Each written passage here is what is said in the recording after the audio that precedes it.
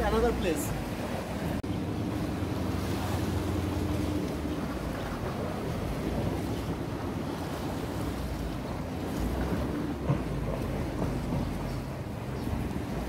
Bro, I have another place.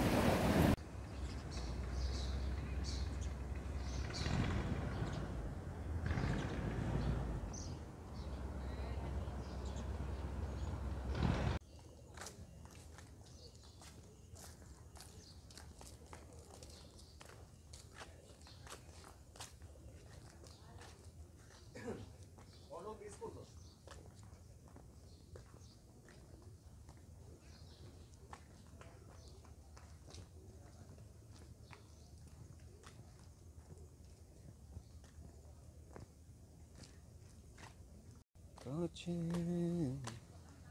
যেখানেই সীমান্ত তোমার সেখানে বসু।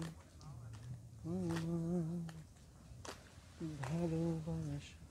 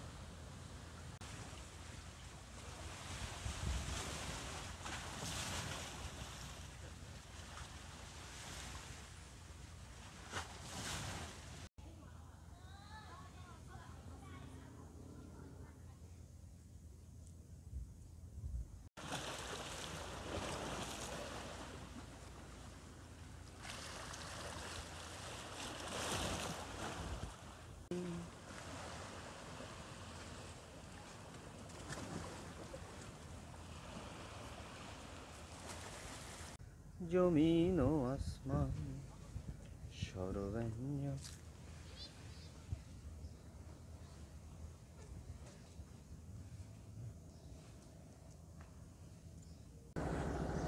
হ্যালো কেমন আছেন? আশা করি ভালো আছেন। আছে আমাদের রুদ্র। রুদ্র.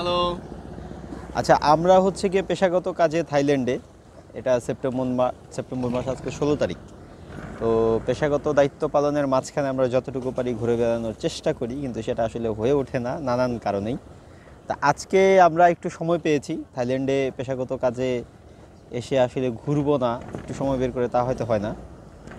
তাই আজকে আমরা এসছি এটা হচ্ছে গিয়ে শ্রী শ্রীরাচা শ্রীরাচা।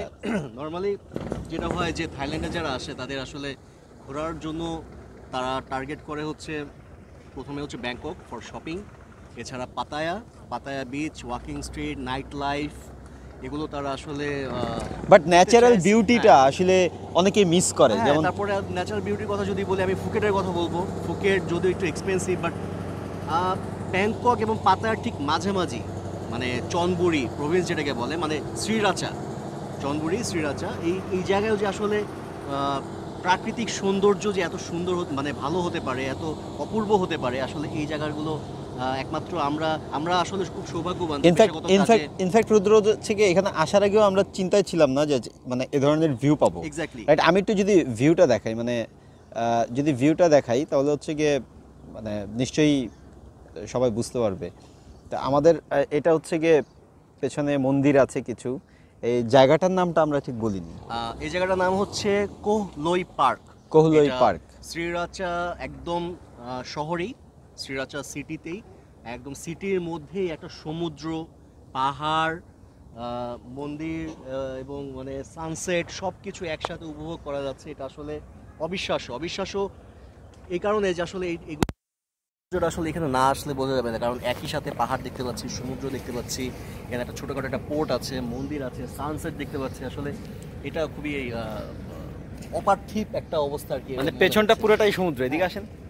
পেছনটা পুরোটাই সমুদ্র যদি এখান থেকে এবং এবং ইন্টারেস্টিং হচ্ছে এখানে অনেকগুলো স্টোন এখানে দেওয়া আছে চাইলে এখানে আসলে অনেকে ফটো সেশন করতে পারবে। আমরাও করেছি।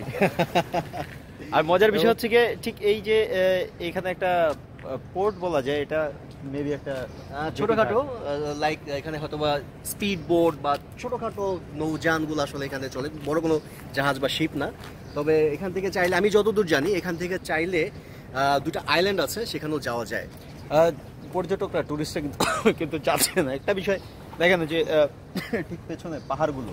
সেখানে আমরা জানতে পেরেছি যে অনেকেই নাকি মানে ট্রেকিং করতে আসেন। এবং ট্রেকিং করতে আসে এবং একটা ওয়াটারফল আছে। এবং মজার বিষয় হচ্ছে গিয়ে যারা পাতায়া ফুকেট কিংবা হচ্ছে গিয়ে এই জায়গাগুলোতে একটু এক্সপেন্সিভ ভাবে থাইল্যান্ড না ঘুরে একটু ন্যাচারাল টাচটা নিতে চায় তারা কিন্তু এই জায়গাগুলো চৌনবড়ি শ্রীরাচা এই জায়গাগুলো একটুখানি চিপ এবং এই জায়গাগুলোতে ট্যুর করতে যথেষ্ট চিপ এখানে এখানেও শপিংয়ের ব্যবস্থা আছে এখানেও চাইলে শপিং করা যায়। এখানে যথেষ্ট শপিং মল আছে এবং এমনও মল আছে যারা টোয়েন্টি ফোর আওয়ার্স খোলা থাকে। এমন মল আমরা দেখেছি। এবং থাকার ব্যবস্থা যদি বলি এখানে অ্যাকোমোডেশনের আসলে খুবই চিপ রেট মানে আমরা যদি ওই হিসাব করি অনেক কম টাকায় আসলে থাকা যায়। এবং এত সুন্দর স্পটগুলা ঘোরার জন্য আমরা তো মাত্র আজকে এখানে আসলাম। সামনে আরও আমরা কয়েকটা স্পটে যাব দ্যাটস ফর শিওর তবে আপাতত এটা উপভোগ করছি। কারণ এত অল্প সময় এত অল্প প্রাইসে এত সুন্দর জায়গা আসলে ভিজিট করা থাইল্যান্ডে এটা আসলে খুবই আমরা lucky we are lucky for that তো নিশ্চয়ই হচ্ছে গিয়ে পরের কোনো ভিডিওতে আমরা আরও কিছু সুন্দর জায়গা থাইল্যান্ডের দেখাবো যেগুলো হয়তো বা পাতায়া ব্যাংককের বাইরে কিছু জায়গা যে জায়গাগুলো আসলে মানুষজন পরিচিতি পেলেই খুব অল্প খরচে থাইল্যান্ড ঘুরে আসতে পারবেন। সাবস্ক্রাইব করবেন আমার চ্যানেলটা। রুদ্র কিছু বলেন। ওকে আমাদের সাথে থাকুন। অবশ্যই আমরা একটার পর একটা নতুন জায়গা আপনাদেরকে দেখাবো এবং আপনারা উপভোগ করবেন এবং পরবর্তীতে হয়তো বা আপনারা যখন প্ল্যানিং করবেন থাইল্যান্ডে আসার তখন এই জায়গাগুলো অবশ্যই আপনারা দেখবেন। অবশ্যই দেখবেন। ভালো থাকবেন।